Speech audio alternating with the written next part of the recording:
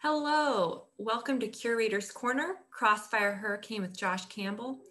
I'm Shauna Oltmans. I'm the Exhibitions and Programs Manager here at the International Spy Museum in Washington, D.C. Thank you for joining us today. Spy Museum historian and curator Andrew Hammond will be talking with Josh Campbell about his new book, Crossfire Hurricane, Inside Donald Trump's War on the FBI.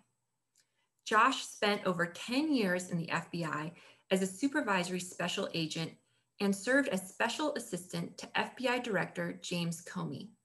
His book provides a fly on the wall account from the earliest days of the Russia investigation.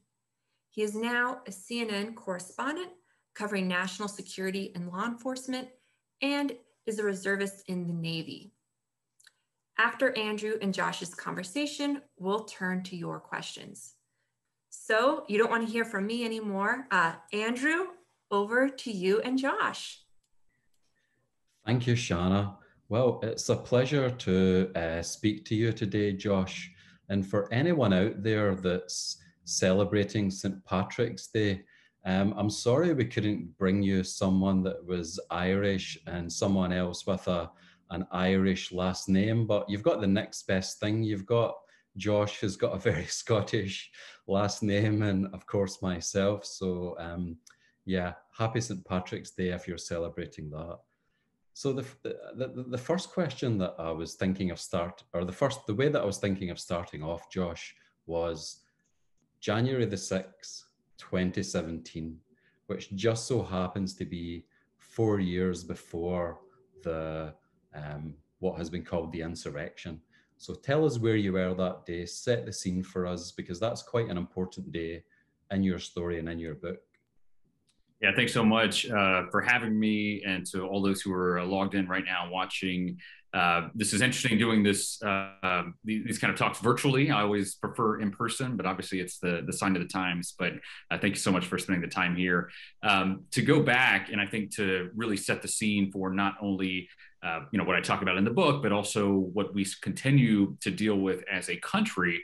Uh, I think a lot of the the relationship between the now former Trump administration and the intelligence community uh, and the FBI and the Justice Department, a lot of that friction can be traced back to, as you mentioned, January 6, 2017. And that was the day, if you'll recall, where uh, James Comey and the other heads of the U.S. intelligence community met with then uh, President elect Donald Trump at Trump Tower uh, to brief him uh, on a couple of things. First, the Russian, uh, what the intelligence community had assessed as related to Russian interference in the 2016 election, but then obviously Comey had that other responsibility of sensitizing Trump to this so-called Steele dossier that was out there with this alleged information about uh, tawdry details about Trump's past. Uh, and I say that that set the stage for the relationship because, between because a couple of things happened according to the participants. I was there uh, on that day. I traveled up as uh, as Comey's assistant, um, and it's, it was interesting to hear some of the readouts and what some of the principals from the intelligence community said about that meeting because the focus from the Trump team, according to them, was after they were briefed on the Russian efforts to interfere in the election, the focus was not so much on uh, how do we stop this threat? This is a grave threat to US national security. The focus appeared to be from the Trump team more centered on, well, will this make us look like we are illegitimate? And how do we you know focus on that aspect so that alarmed some of the participants but also according to comey who i talked to afterwards and you know obviously great length um, uh, following that that uh, that meeting it's interesting to see how the two sides saw that meeting. You had James Comey and the intelligence community officials wanting to sensitize an incoming president to this information, which was unverified at the time, but had been, you know, circling in, in media and, and government circles. Uh, and they wanted the Trump team to know so that the president wasn't blindsided Donald Trump, according to some of the readouts from his team and, and, you know what he said afterwards, thought that that was the intelligence community trying to potentially blackmail him to set up some kind of relationship, kind of this J. Edgar Hoover style. You know, hey, we want you to know we have some of this bad information. Uh, you know, just keep that in mind. And so the the motivation couldn't have been more different. Obviously, I mentioned the intelligence community wanted him to know what was out there, and I say that set the stage because obviously Donald Trump's presidency was um, marked by this ongoing collision between you know politics and the intelligence community and law enforcement.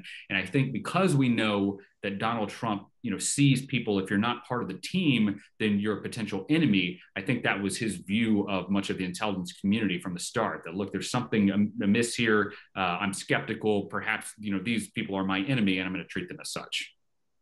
And what prompted you to write the book? Tell us a little bit more about how that came to be and uh, what what was the motivation behind it. Yeah, so I just to kind of give the, the quick summary. I mean, my background: I was I was in the FBI, I was a career agent, and even my time in the director's office. Um, you know, I wasn't a political appointee. I was a, a senior career FBI agent uh, who had the pleasure of serving, you know, there in the director's office and many different other assignments uh, around the world. And for me, if you remember, you know, kind of back to that place in time in 2017, after James Comey is fired by Trump because he won't, you know, get rid of the Russia investigation, uh, the FBI really started to, absorb you know just constant attacks from from the president and folks in his orbit. And for those of us who were you know rank and file agents we were and analysts we were looking left and right wondering when someone was going to speak up and say that these lies that have been told about this agency are just that this idea that there's some deep state that they're out to get Donald Trump, that they were trying to stop him from becoming president, which is just nonsense. And I write a lot in the book about some of the actual uh, mistakes, some of them potentially criminal, that some people inside the FBI actually did that was unearthed obviously later on. But this notion that this is an agency, a, a deep state cabal out to get Trump, we knew was nonsense. Yet you had uh, the FBI director, you had the attorney general, you had people, uh, you know, high in government who weren't defending the FBI. And so, you know, imagine you're on on the receiving end of those kind of attacks, the CEO of wherever you work, this in this case, the president, is calling you a crook day in and day out that that grated on me that grated on my colleagues and i felt that the american people uh, needed to know the truth about this agency that it's flawed it's imperfect but it's not f- filled with a bunch of criminals who are trying to you know take down a president. And so i just made that realization that i love this organization so much that i needed to step out of this organization um, and and tell the story about the men and women of the fbi uh, flaws and all but to really set the record straight and then just very quickly, you know, I, I, I kind of looked for a platform to do that, and uh, obviously uh, went to CNN. Uh, and when I started, I was getting calls from people saying, "Well, you know, we, we understand that you you probably want to write a book. You know, we'd love to work with you." Some of the book agents, and to me, I, I, like I never wanted to write a book, and I never thought about that. And I certainly didn't want to write a memoir. Uh, and so I just kind of you know put them off, put them off until one uh, group of, of, agents that I actually ended up talking to said, "No, we want to tell the story that you think the American people need to know, and that is what was it like in 2016 uh, to to go through this, to have a president coming after your organization, and to really set the record straight." And so that that is what led to the book um, to really be able to kind of dive in and take take our viewers into the room to really understand what it was like to be in this organization at that time. And one of the things that I think would be really interesting for people that are not familiar with the FBI, walk us through the, the decision making process as someone that is unhappy and wants to do something about it. So almost like a flow chart. What are the what are the options? So there's stay inside and try to change it from inside. There's, you know, speak to someone at the New York Times, there's leave and try to do it outside tent rather than in. Walk us through those various options. And one of the things that um, I enjoyed when when we spoke earlier, Josh, was you know you you come across as you know uh, fresh, ebullient, optimistic. You don't look like a lot of the the people that you know we tend to associate with the disgruntled former you know federal employee who's beaten down you know you've you've got kind of like uh, a lot of life and verve about you. So was that part of the reason why you left? Because you just thought if i stay here it's just going to make me very unhappy or just walk us through those various options and why you chose the one that you chose? No, I appreciate that. Um, so I think the, the most important thing to understand kind of my, my rationale and, you know, the book, I, I really am not about uh, telling a memoir like you know this is my story this is what i was feeling i mean there's some of that but I, I, don't think that readers find that very interesting. I mean, certainly my my ego is not such that I need to write a book to tell you how I was feeling. It was mainly focused on telling you what was happening, um, and so that was the focus. But the decision to to leave and then to you know kind of do what I'm doing now to help tell the, the truth about these uh, the, these agencies really centered on me looking into the future and I had a couple options. You know, I I loved the FBI. I still love the FBI. I talk to people inside the FBI almost every day. Um, but I came to that realization that I didn't want to look back 15 years, you know, uh, from now on or from then on retirement, knowing that I could have spoken out and and and helped the American people understand what was real and what was not but then to know that I just kept my head down just to draw a paycheck, right, or a pension. And so that was not an easy, easy decision. I mean, it was a damn t- awful decision to try to make. Um, but I came to that realization that you know what the team the team Trump folks were saying at that time is that that this is some deep state, they're anti-Trumpers, and so you know I actually had that thought that you know, uh, you know, if you stay in an organization and as you say, just kind of leak anonymously right to the press to, to bash the president or whatever, I mean, that actually justifies this accusation of, of some kind of deep state, uh, which I, which I, you know, don't think exists. And I certainly wasn't going to be a part of. And so I did what I think and, you know, thought was the right thing. And that was stepping out of the agency to say in my own name what I believed, um, not anonymously or, or um, you know, to, to to do so in that fashion, but to actually just say, look, no, this is what I saw, this is what I think, and this is what the public uh, should believe. Um, and and uh, what I hope folks take away is that you know it's it's not just. I mean, when people talk about brand management, like right in the, in the private sector, oh, a company wants to know, wants the public to trust them and to appreciate them. I mean, that goes back to the bottom line, uh, a company's bottom line. But for the FBI and for the intelligence community, they're they they need public trust in order to do their job and as i described in the book some of the examples of being an fbi agent in the field you know when i knocked on someone's door conducting an investigation and needed their help their decision to to help me and the FBI solve a crime or you know try to stop some threat was directly correlated to their view on the FBI uh, about the FBI. When I said those three letters, FBI, what hopefully came to their mind was this is a person and an organization that is known to be trustworthy and this is someone that I'm going to I'm going to be willing to help the problem with the, the, Trump assault on the FBI is that there were real world consequences to, to, trust in the FBI. Polling opinion showed that FBI public confidence in the FBI started to tank. And so it's not just, well, you know, we thought that Trump was being mean or that we want to maintain a good reputation. This was a matter of public safety, that if the public actually believed this nonsense about this organization that that would then endanger uh, the public and prevent us from being able to do their job. And that is why i'm so passionate about talking about this. Again you know as a journalist i, I report on the flaws about the fbi and other intelligence agencies all the time. If you're out there and you know a flaw you know you should be out there sounding the alarm. Um, but I think in the main, that's what the public needs to know that this is an organization of, of people that go to work every single day trying to stop threats, trying to prevent uh, you know attacks, trying to help people and bring justice. And that is the FBI that that the American people should know about. There's a great example at the beginning of the book where you talk about the power of those three letters FBI, where you're in Los Angeles and you're in plain clothes and you assist an officer uh, with two, uh, you know, two suspects, and you you just mentioned that you're in the FBI, and the the, the suspect just starts confessing that he's got drugs, and you know, yeah. uh, so forth. Um, it's quite a nice vignette.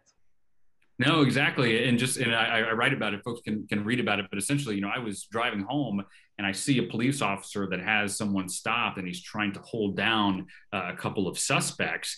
And so, you know, as a law enforcement officer, you're always looking out for each other. And you know, there's one officer and two suspects. Obviously, I was going to try to assist, and so I whip around and and roll up, uh, you know, grab one of the guys, and and just kind of as a force multiplier and it turns out that they had robbed this store and, and the cop's partner had run off to try to catch another suspect and it was interesting because you know you, you, you try to be uh, thick skinned. I mean, the suspects are hurling all kinds of, uh, you know, names and invectives, and, and me and the LAPD guy, the Los Angeles police guy, are just kind of waiting for backup.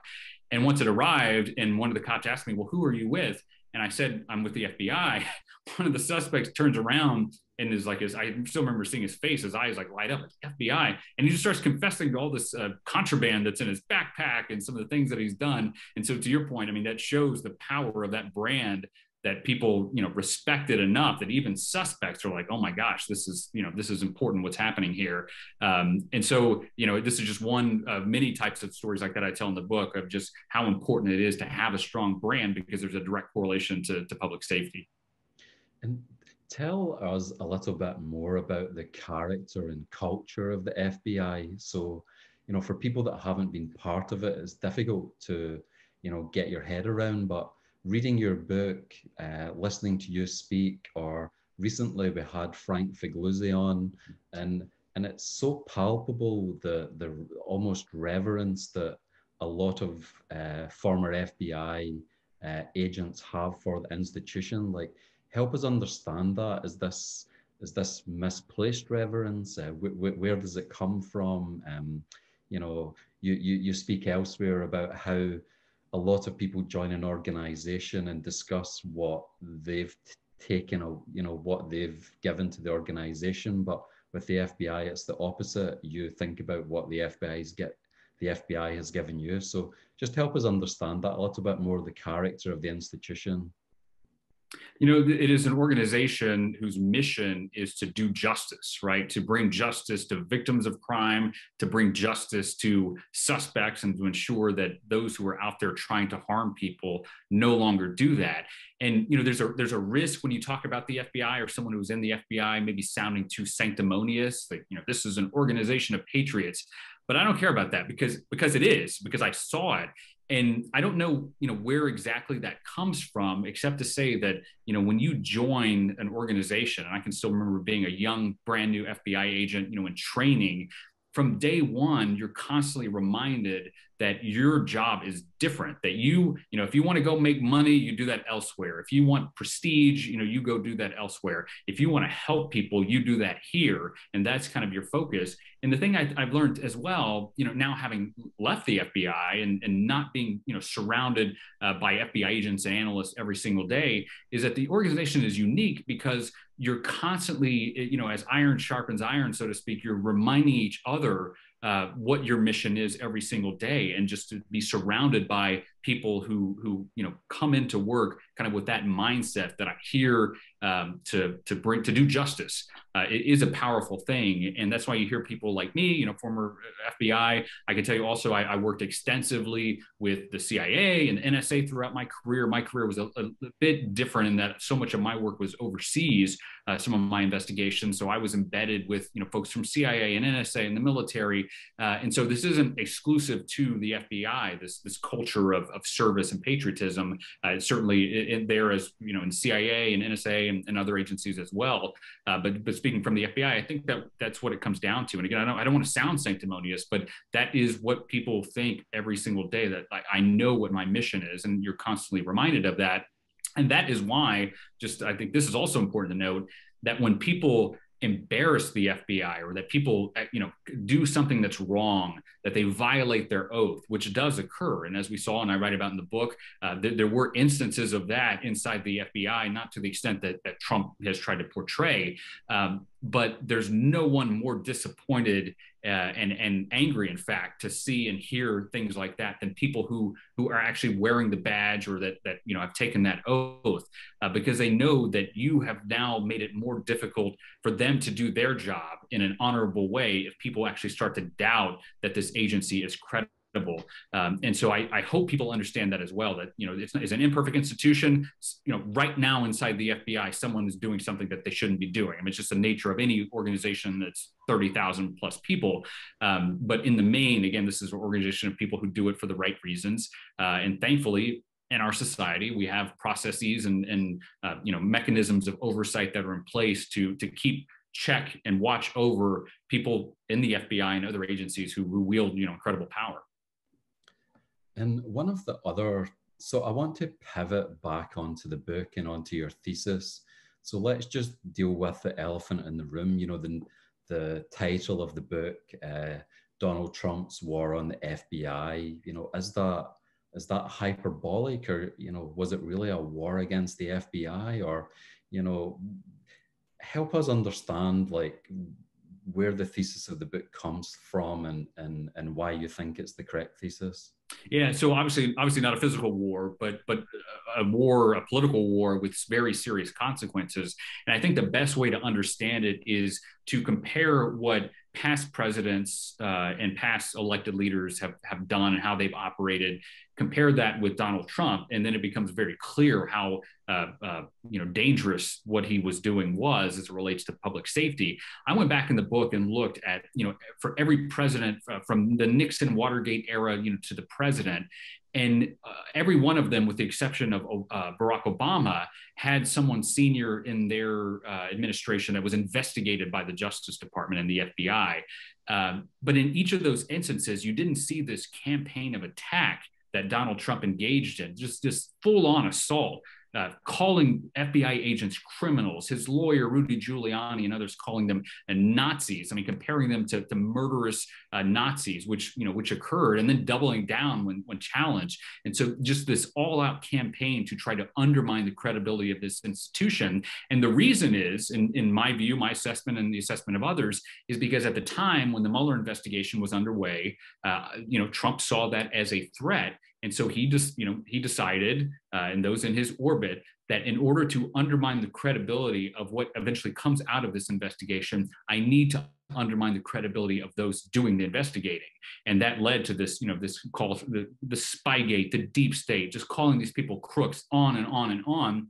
And you had segments of society, you know, Trump's base that started to believe those lies that, you know, these, uh, this which is which is interesting because and we can talk about the deep state thing if you want a little you know a little more in depth but you know as you as you as you lay out the arguments for this deep state i mean it's a house of cards. It, it falls you know quickly when you start to, to realize it. But trump i think because he's you know a, an effective brand manager um, was able to, to kind of launch, launch that campaign against these agencies. And the problem is, is that that's fine in politics. Like, you know, if you're campaigning, if a politician is campaigning against another politician, the goal is to make yourself look good and maybe at times try to undermine what the public thinks about your opponent. And after an election, few people sit around and, and you know wonder what happened to the person that lost. okay, you regroup, you try to go back and, and have another go. The problem is that we're not talking about politicians. We're talking about a politician, the president, going after a national security institution. And if the public actually believes that this organization is corrupt, then that has all the effects, the negative effects that I just talked about a little while ago. And so it, it, it was a war, in the sense, a political war to undermine the credibility of this institution institution. Unfortunately, a lot of people believed it, and that is where this organization and others find themselves now is trying to kind of repair that damage to try to uh, uh, reinstitute some you know level of confidence to the extent that it was in the past uh, in the wake of, of you know the, the presidency of Donald Trump. And I've seen you comment elsewhere that the FBI as an institution tends to lean conservative. So I think it's quite interesting to hear your views on the effect of the Trump presidency on the institution and on the politics. Um, you know, did, did you see the same fissures amongst, you know, conservative leaning FBI agents who uh, that, that, that we see in contemporary politics where some people are you know, pro-Trump, some are anti, or was everybody anti-Trump in the FBI? Help us understand a bit of that culture. Obviously, we're talking about tens of thousands of people, and you know, we're we're, we're generalizing here, but help us understand the the impact on that conservatism within the FBI. Yeah, so I mean, I, I think it's it's um, it's accurate to say that the the politics of the FBI uh, and you're right, you know, you don't want to over-index, but just you know, based on my experience, is that it, it leans more conservative, and I think that's because it's kind of this paramilitary uh, type outfit. And I know, you know, I'm, I'm still in the military now as a reservist, and it's it's those kind of institutions that just happen to lean, you know, uh, politically conservative. That's not to to broad brush everyone, but what is so fascinating about that is that you know, again, if you dissect what Trump did and, and what he said about the FBI and these organizations, I mean, first of all, you look at people like Comey and Mueller and Andrew McCabe. I mean, these are all Republicans that he was trying to convince the public had somehow, you know, decided to go after him, which, you know, none of it makes any sense if you actually start to dissect like well, what he's actually saying. But also inside the organization, you know, I, I hear people often say that, you know, the FBI, you check your politics at the door.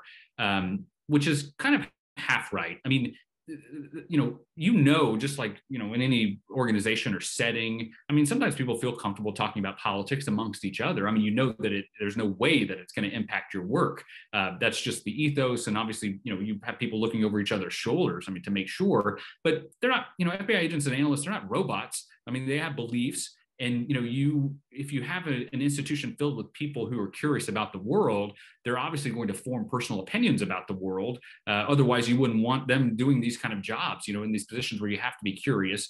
Um, so but that's a long-winded way of saying that you know it, it's mo- it's mostly conservative people. And so to think that this this you know institution all of a sudden would flip and go after a president uh, who's a Republican just makes no sense. And it's also worth noting that I know, based on my experience, that some of the most uh, angry people who, you know, some of the most vociferous, uh, you know, responses to Donald Trump's attacks came from my friends that I knew were conservative and, and far right. And so that just showed that it was kind of, it, there was no political dynamic there at play. People who, you know, whether they're Republican or Democrat, if they were being called crooks by the president, they were going to speak out and say something and then just the, the last you know point I want to make on that is if you go back to 2016 and and this just for for me and I hope for the viewers as well that this you know gives you some idea of just how you know nonsensical some of this deep state thing stuff was. So so Trump would have the public believe that this right of center institution was trying to go after him and prevent him from becoming president yet American voters went to the election, went to the polls in November 2016, not knowing that the Trump team was under FBI investigation. And that's important because, and, and Comey got a lot of criticism for you know treating the Clinton case differently than, than treating the, the Trump team case. And I write about those criticisms in the book. Um, but if the FBI was really out to get Donald Trump and was really this cabal of deep state, you know, uh, crazy leftists, someone would have leaked that his four people in his in his campaign were under FBI investigation, and I think you know that could have been lights out on his campaign. Uh, but of course, they didn't do that. They they did their investigation secretly, which they've been criticized for for treating that differently than the Clinton case. But it goes to show that you know it's just a house of cards. As you peel back, you know each part of, of some of these arguments, you you see just how nonsensical some of this stuff was. Uh, so that, that's kind of my, my, view on kind of the, the political side of the organization and you know how that relates to some of the criticism. And how would you deal with the you know people that maybe don't read the book or engage with your argument but people that just see the cover you know maybe see that you're on cnn and just think oh he's you know he's he, he's telling us it's a conservative institution but he's a he's a closet liberal who just wants to have a cheap shot and make some money um, from this position that he found himself in. So i was just wondering you know what some of them may well watch this on youtube. What what how would you directly address them? Yeah so well the money thing is is easy because uh, half the proceeds of this book went is going actually to a fund that that cares for the family of fallen fbi agents. And that was important to me because for that reason i didn't want to seem as uh, oh you're like cashing in on your fbi experience. Uh, so to be able to use that for good was was important to me. Uh, but also you know i tell people and i knew this you know stepping out of law enforcement and, and into the media that there might be this baked in uh, you know constituency of critics who say well uh, you know you, you, know it's, it's, fascinating because and, we could talk you know probably hours and hours about my view about the media and donald trump uh, but i think the the best the, the person who summed it up best for me was actually carl bernstein who's you know one of my colleagues at cnn and what he said is that you know it is jarring to the ear to report every day that the president is a serial liar uh, that just you know you, you, know no one wants to say that because that's just that that's you know that's obviously an uncomfortable thing. But what bernstein said which was fascinating about trump is that you know if if you as a journalist if you're covering a president and he tells 10 lies in one day and you say well you know what? I'm not going to point out every single one of them because i don't want to seem like i'm piling on then some of those lies are going to slip through and people are actually going to believe you know what he's saying. But if at the end of the week Donald Trump says, you know, look at the media. They attacked me 70 times this week and said I was a liar. Obviously, they're piling on. That is somewhat persuasive to some of you know his base. And so, but Bernstein's point was you have to keep pointing out the lies because our job is to help the public understand the truth. And so I, I, I mentioned that to say because I knew coming in to an organization that's dedicated to that. I mean, my, my colleagues at CNN uh, are, are, some of the most impressive people that, again, you know, have a very similar mission, I think, to the FBI to uncover the truth and to ensure that the public understands what's going on, that institutions are held accountable. Um, but I just ask people to just judge me by my work. Um, and and you know, for example, the, the day I started here, uh, you had the president's son, and there was this uh, former. Um, uh, I won't even mention the name, but a former like Trump person who came out like bla- uh, blasting, you know, oh this guy, you know, and and I just knew then that ignore the critics, just you know, d- focus on the work, and the public will understand. I hope in looking at the totality of you know what I what I've said, what I've done, uh, that my focus here is just is simply to uh, have the public understand what's right, what's wrong, what's the truth, uh, and and I hope that's how they judge, uh, you know, me and my work. And I think if if you read the book, I mean, I think I'm I'm fair enough where, you know, I I criticize. Uh, uh, it's not just a rah rah. The FBI is amazing. The FBI is great. There's a lot of criticism in there as well. I think it's important, you know, to maintain my own credibility is to just speak, you know, as I see it. And I want to turn to the former director Comey, but before we get there, I was just wondering how does one become the assistant to the director of the FBI? Is that is it happenstance? Is it knowing the right person? Is it you know just the luck of the draw? Is it an application process? Help our viewers understand how you find yourself in that position.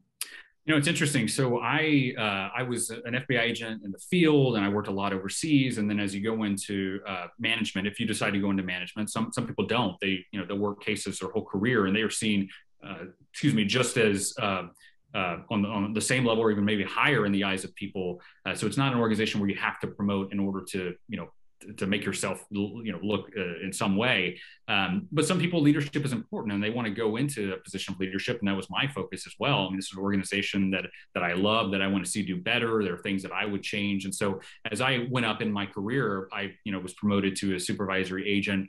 And as it related to comey i mean i actually so the fbi director has uh, special assistants uh, sometimes two sometimes one it's usually a very, very senior person uh, in, in the executive service.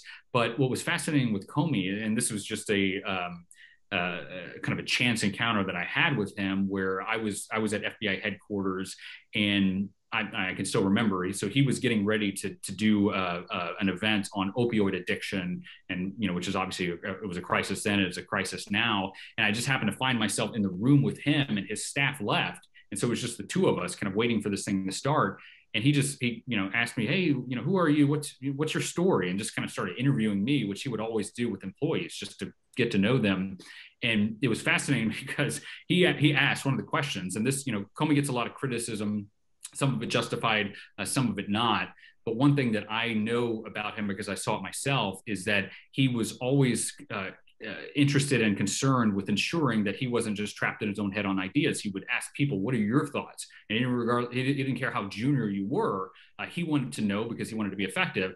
And so, to that end, he actually asked me. Um, and this is just the two of us, like you know, in this room, me, Junior, him, obviously the the head of the organization. He said, "You know, how am I doing?" And what was interesting in that moment, this would actually crossed my mind. I thought, okay, I have, a, and at the time, I have two weeks left at headquarters, and then I'm going back to Los Angeles, uh, where I where I live. Uh, I was going to uh, go get promoted in another position there, just uh, as you you move through assignments. And so I thought, okay, when am I going to have an audience with the FBI director who's asking me what I think about how he is doing? And so I actually thought, well, okay, if I make him mad, what is he going to do? Like send me back to the field? I'm going there anyway in two weeks. Um, and because it's an organization that I love, there are things that I want to see fixed. And so I told him, I said, look, I think uh, that that you know you're, you're you're doing well, but and then he interrupted and he said, but, and then I of course got mortified. And he said, no, I'm kidding. Like, go, continue, continue. And so I just listed a, a few things that I thought were, uh, you know, were, were not uh, happening fast enough. And you know, I actually told him, I said, you know, this is a suspicious organization by its nature. And so, if you, as a new FBI director, you come in and say you're going to do things, and and you don't, you haven't done them yet, uh, that's not going to bode well. And so it was actually a pretty, you know, feisty debate back and forth. Um, and in the end, he said, you know, thank you so much for speaking, um, uh, you know, honestly and openly, and, and for giving me feedback. And so I left like really really satisfied that you know i got off my chest some of these issues that the fbi everything from leadership to technology uh, and i felt satisfied that i was able to to you know tell the, the director that. And so a week later i find myself i was back in los angeles actually looking for a place to live and comey calls and, and basically just in summary says and I, of course i was mortified then too why is the fbi director calling me? Like what, what did i do? Um, and, and basically the sum of what he said was i know you're going back to la but instead of that I want you to come work for me and help fix all those things that you said were screwed up. Um, and so that was my, uh, you know, my joining his staff. Um, and so I think two things there. First, I think it's important, you know, to note that that's kind of his caliber. Again, he wanted people in the room who weren't afraid to um, to mix it up with him and to you know tell him when they thought he was wrong.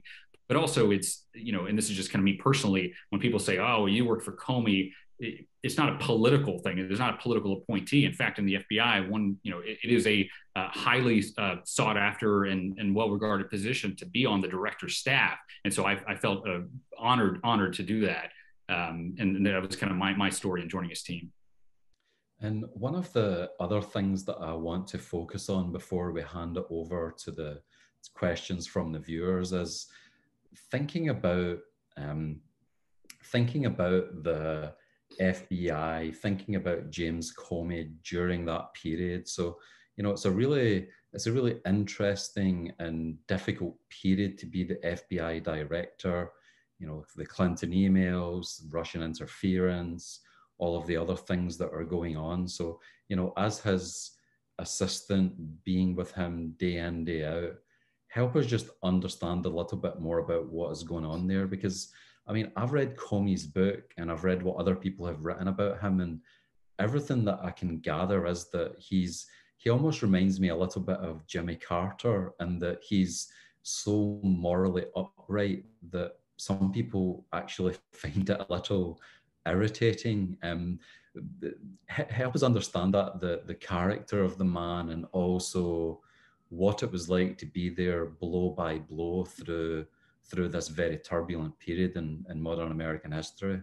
Yeah, so you know he, he's he's obviously a complicated figure. People have different views on him and his decisions, um, but I think the you know what, what I tell folks is that you know imagine you are the the director of the FBI and you now have both candidates for the presidency of the United States, or at least people in their orbit, under FBI investigation um, I mean that that is I mean think about those decisions that the the the, the person who will who will be the most powerful person in the world coming up next election um, could that that could be decided by every action that you take you know in the run up to that.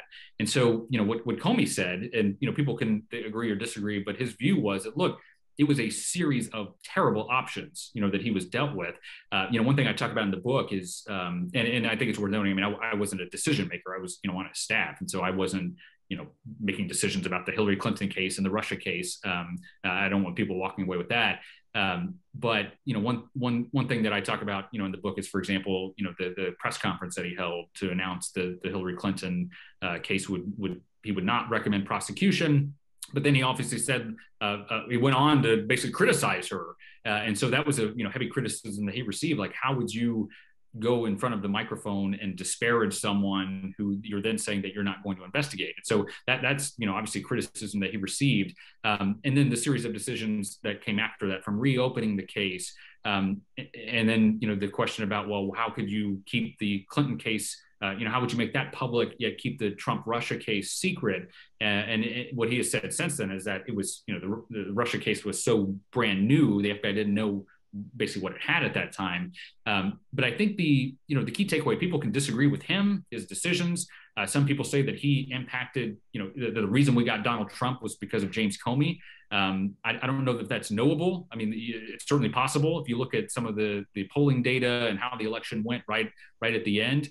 Um, but I think what I what I hope people understand, and, and this isn't to you know excuse any decisions. People can can make their own take, you know, have their own takeaway.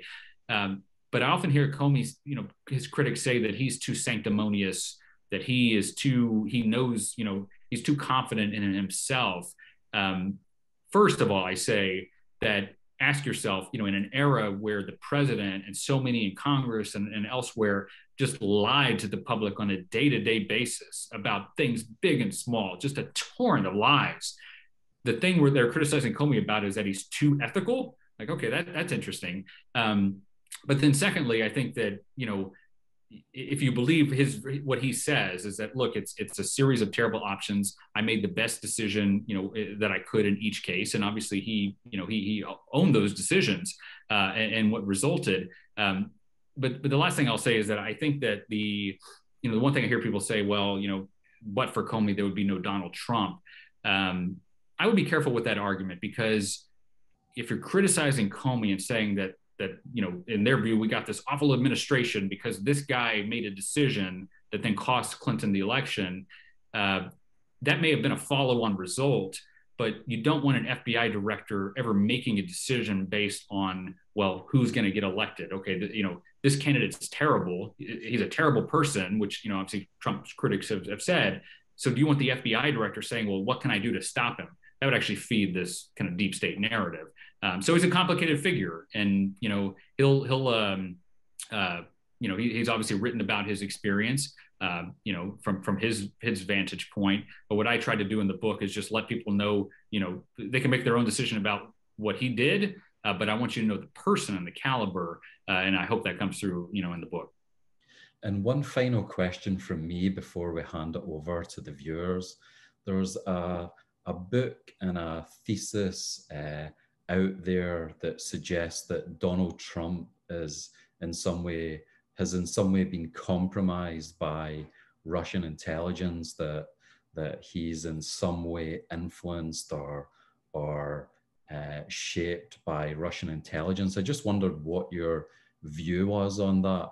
A as a CNN analyst, but also B as a FBI uh, former FBI agent. Is there enough evidence there to uh, take someone to court, or is it circumstantial? Or walk us through your view of that situation. Yeah, so you know that is a question that has come up from you know the, the early stages of you know 2016 uh, election and the aftermath with the Steele dossier and the like. This question about you know, is do the Russians have some dirt on Donald Trump? And that, and that's a spectrum because there's some people who say that Trump is a, a witting spy, right, or a, an asset for the Russian government. There are others who say that it's more nuanced, that maybe because um, of information that they may have on him, that maybe uh, you know that is kind of motivating his action. So it's kind of the, the reverse. I I don't know the answer. I mean, I don't think any of us do. But what I what I do in my own mind and this is you know as a former investigator looking at sets of facts and trying to draw conclusions from things that maybe aren't aren't, aren't easy to determine um, is one thing that still stands out for me is donald trump you know maybe the president with the largest ego that we've ever had. And that's not a criticism because trump will tell you he's great. I mean he continues to say he's great. So when i say trump has a giant ego that's not that's not a criticism of donald trump. But the thing you have to ask yourself is why would someone with that gigantic ego capitulate to someone like Vladimir Putin, which Trump did time after time after time? It just doesn't square. I mean, remove the names, just use the attributes. That you have this this guy with all this bravado and ego. I'm the best. I'm the greatest. I'm, my name is everywhere. You know, on buildings. Yet I'm going to kowtow to this other leader almost every single time there's a reason for that. We don't know what the we don't know what the reason is. I mean, some have suspected that it's probably more financial. That maybe the Russians had tried to you know back uh, Trump, bail him out uh, when he was facing you know financial turmoil, which would fly in the face of his you know saying, "Oh, I never did business with the Russians."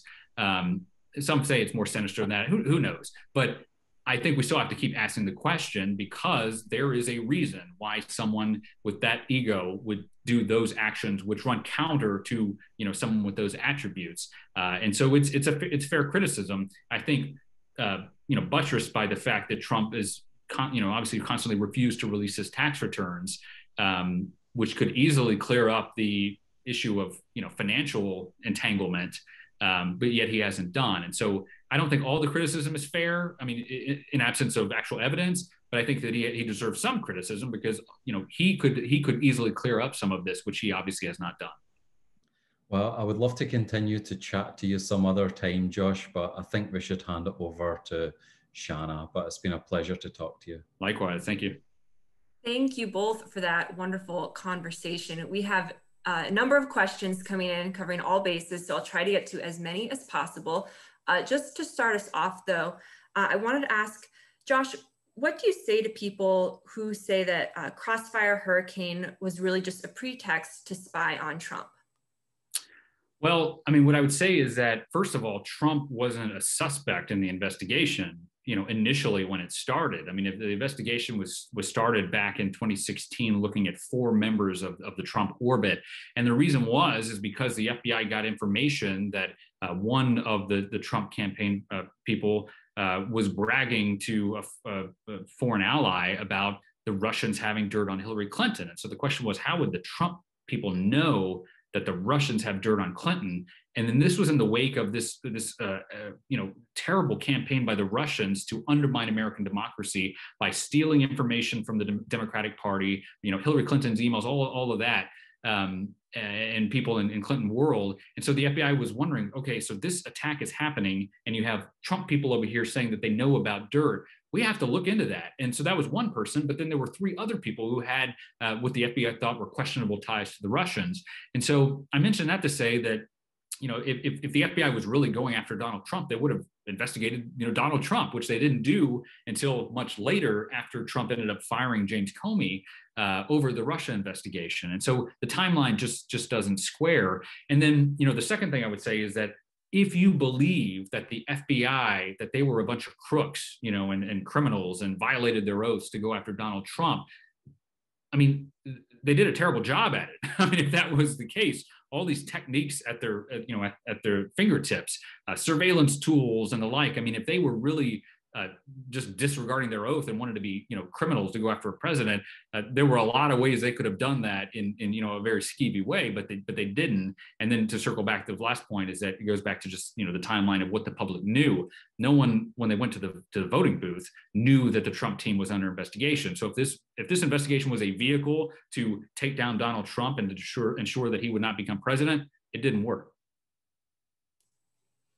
All right, and we've, we've got a question that came in from David Priess. He says, hello, uh, but he says, the Mueller report detailed some clear cases of, of obstruction of justice, but Congress dropped the ball and failed to, to follow up on them.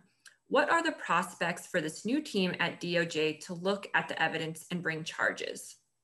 Well, I think that will depend largely on whether the, the Justice Department's Office of Legal Counsel uh, agrees with some of the precedent in the past, and you know what we saw during the Trump team, and that is, you know, the, the belief was that a, a, sitting president couldn't couldn't be prosecuted, there are very serious questions now. I mean, to, which gets to the heart of this question about whether now that Trump is no longer in office, uh, whether he could still be held accountable for some of those actions if he doesn't fall under that under the protection of that legal opinion that a current president can't be uh, investigated. And I think that there's a there's a possible chance of that. I mean, I think the the Biden team probably doesn't want some prolonged, you know, investigation into Donald Trump. They probably just are hoping that he would just go away. Um, but if you're a prosecutor and you're sitting on potential evidence of, criminal activity, you know, you, have to look into that. The one thing that's fascinating, and I talked to a lot of investigators and, and obviously, you know, journalists who have covered this, is the Mueller team, uh, you know, through their investigation, they got a lot of criticism for for not going far enough, but they did capture witness testimony, witness statements. They gathered evidence, and that doesn't just go away after after an investigation and a report is finalized. That still exists. Uh, and so the question, you know, which uh, we don't know right now, but will that be used to actually look back on some of these uh, criminal charges? I think it's it's possible. Um, we'll, we'll just have to wait and see. And then, uh, can you name one thing that should change institutionally to avoid another uh, president, you know, causing damage to uh, an institution like this? Well, one thing that has been uh, floated, and this, I think, this should be a topic of national conversation. I mean, I don't, I don't, you know, have all the answers. I don't, I don't, uh, not a, a, policy advocate, you know, in my role, uh, but the idea of uh, mandating the, you know the term for the FBI director to, to actually legislate that an FBI director cannot be fired except for cause. Um, now, if you go back and I write this about this at length in the book, is you know back in the J. Edgar Hoover days, um, you know you had real instances that were unearthed by Congress of abuse uh, the FBI overusing its authorities to target people and you know violating civil liberties. Um, and he was in office for almost 50 years, and so that led to this 10-year term for the FBI director because they didn't want any more J. Edgar Hoovers, uh, you know, to stay in office that long. But the the institute instituting that 10-year term uh, still didn't. I mean, the president can can fire you know any of these constitutional officers you know that he wants, and so that that's a serious question that you know could be had. There's obviously a question about whether that's even constitutional, whether you can actually infringe on the president's authorities in that regard. But that's one thing that has been discussed uh, is possibly giving a, you know more teeth to that provision about the FBI director's tenure term and then I think so much of the rest of it uh, is just just you know reinstituting these norms um, which are, are, you know, it's been called by, um, you know, a couple Harvard professors who wrote a, a, really good book about authoritarianism, called it, you know, the norms, the the soft guardrails uh, of our society, where you know they kind of keep us in in in, in the middle of the road.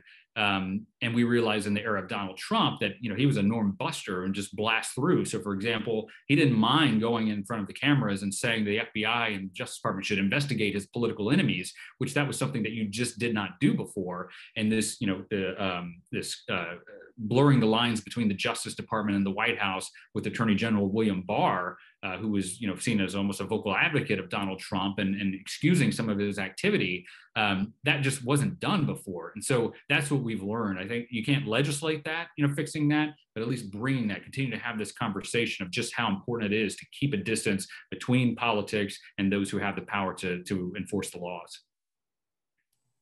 Kind of on the same uh, vein with in terms of FBI directors, we have a question about um, are FBI directors selected based more on their law enforcement experience, or is it more their managerial and diplom- uh, diplomatic experience?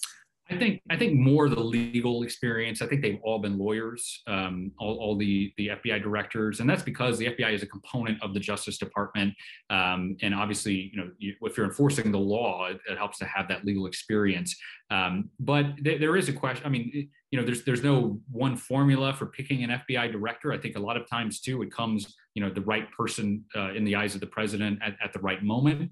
Um, and so you know if you look for example at you know so robert mueller obviously was was appointed uh, who was a, a senior uh, person in the justice department a marine marine veteran person who was highly um, you know sought after and, and thought of uh, who was instituted. And then shortly thereafter after he was put into place as fbi director 9-11 happens. And then he uses those you know that experience in national security and the military to really lead this organization uh, through a cultural shift uh, from you know from focusing so much on criminal to focusing on national security and and so you saw a lot of those um, you know th- th- those uh, uh, attributes you know come into play and then Comey is kind of the same thing. I mean, Comey was you know, I think pretty much came to national attention. He was a senior uh, DOJ official, but after he was testifying about this infamous hospital scene where, you know, he and Robert Mueller were standing up to the Bush White House, who they thought were, you know, they were doing something inappropriate.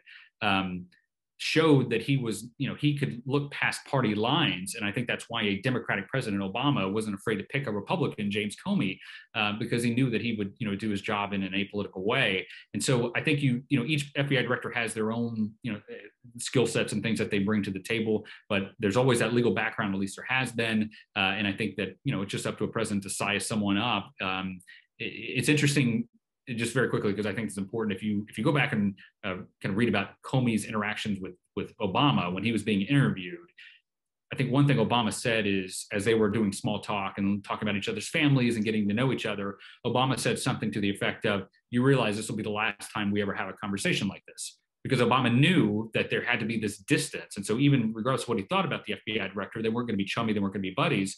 Fast forward to Donald Trump, who's like inviting Comey over for dinner, you know, wanting to really, uh, you know, get into his orbit. Um, it's a long-winded way of saying there are a lot that they look for an FBI director, and then some presidents, there's a lot that they look beyond that, um, you know, as we saw with Trump.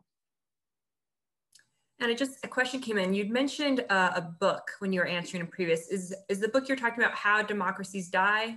Yes. By Steve, yes. By Steve Levitsky. Yes. Okay.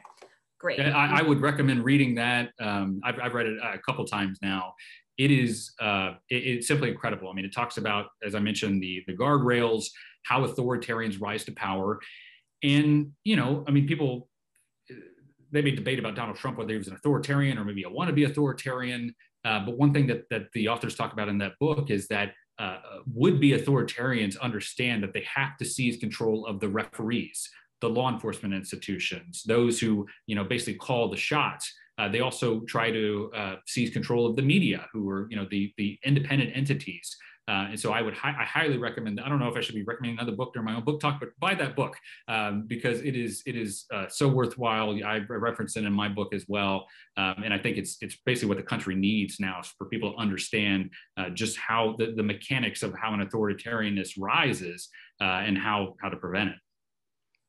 All right, so we're, we're running out of time. So I'll just finish up with one last question. We have so many that came in, but um, let's finish with this with uh, what is the FBI uh, doing right now to address extremism within their ranks? Can you speak to that? Yeah, so I, I don't know so much we've seen any instances of extremism uh, by FBI agents. There was one person who uh, court records show from that was involved allegedly in the Capitol insurrection on January 6th, who was a former FBI uh, not an agent or not an analyst even, but but obviously an issue there. Uh, but I think the larger, and maybe the question gets kind of to the larger point about extremism in general in the United States, and that is that Capitol domestic terrorist attack showed us that these groups continue to, to try to recruit from from law enforcement. They try to uh, recruit from the military. We know some of these extremist groups have talked about wanting to bring people into their ranks who have paramilitary like backgrounds. And so it's a serious issue for law enforcement. Uh, we know the military, uh, the United States military, has, has been publicly reported, uh, is, is basically addressing that in each unit by unit. These so-called stand downs they call them where uh, you know members of the military will, will meet with their leadership so they can understand that look this uh, and discuss that this is a serious issue. We need to make sure that we don't have this kind of problem in our ranks. And then obviously for law enforcement it's, it's important that they do the same because that that's you know obviously a, a target of recruitment uh, people with some of those those kind of skills. And then i think and maybe this isn't to the question but i think it's, it's something that we should continue to, to focus on as a nation, and that is, you know, you had this Trump-inspired attack on the United States Capitol, and although he is is gone from public office, he's not gone from public life, obviously. Um, this this extremism continues, and I talk to people inside, you know, law enforcement uh, all the time who say that this isn't in a vacuum. That attack didn't happen, and people are going to move on. They fear that there will be some kind of follow-on attack, uh, and that just shows you how difficult the FBI's job is is to try to find you know uh, uh, those kind of threats and interdict them and oh by the way doing so knowing that maybe some of the people who uh, are extremists also believe the lies about the fbi uh, it's just a very very toxic combination there and the threat is the threat is real well, Josh, thank you so much for joining us today. This has been a truly enlightening conversation. Um, I want to thank everyone who attended today uh, for being with us. And, and, thank you, Andrew, for leading the conversation. Uh, and I just want to say, if you enjoyed today's program, I hope you'll consider making a donation to our Mission Resilience campaign. As always, you can check our website calendar. We're offering a number of programs for uh, people of all ages. But with that, I want to say, Andrew, Josh, any final words? Andrew, please. Thank, thank you. It's been a pleasure speaking to you. Likewise, thank you all for for joining, um, and you know let the conversation continue. I mean, hit me up on social media, Twitter, or wherever uh, if there are any additional questions. Uh, I just love interacting with people, and I can't wait for the day when we get to do it in person again, uh, which is hopefully uh, uh, somewhere near on the horizon. So thank you all for for tuning in. Wonderful. Well, thank you all, and um, we've been dropping links to Josh's book in the chat, so definitely check that out as well. But Otherwise, stay well, and we look forward to seeing you all again soon.